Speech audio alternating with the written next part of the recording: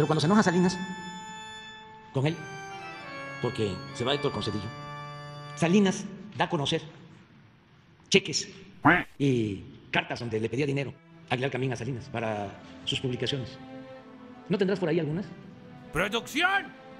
Unas cartitas que le mandaba Salinas. Señor presidente, nos falta dinero, ayúdenos. Los recibos, ¿tienes por ahí? No hablamos claros. ¿No se va a entender? Es que una vez que se dé el pleito entre Salinas y Cedillo, pues todos los medios también dejan a Salinas. Y es cuando se da aquella entrevista telefónica de Raúl Salinas con la hermana, que la transmite Televisa. En relación al diagnóstico educativo realizado por este centro de investigaciones, según acuerdo celebrado en abril del año próximo pasado, se nos hizo un pago de 250 millones de pesos como anticipo equivalente al 50% del costo total. Adjunto a la presente, enviamos la factura complementaria por un importe de 248 millones 220 mil pesos.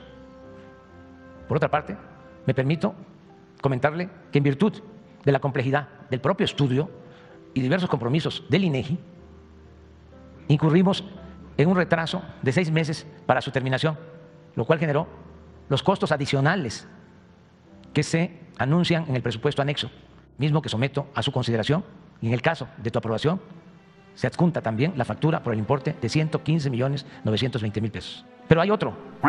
Sé que no hemos terminado. O sea, no habían terminado el trabajo, ¿no? Ah, el 93.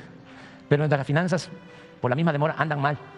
Si pudieras anticiparnos el saldo de la investigación, sería una gran ayuda. Solidaria. Un abrazo. ¿Y ahí está el cheque? ¿Lo sabían ustedes? Mucha gente no. Entonces, pues estos son los que no les gusta nada de lo que hacemos. Afortunadamente también están saliendo nuevos escritores, nuevos científicos, nuevos artistas, una eh, renovación importante de gente también muy creativa, mujeres, jóvenes. Es una renovación también en este terreno que nos va a ayudar muchísimo.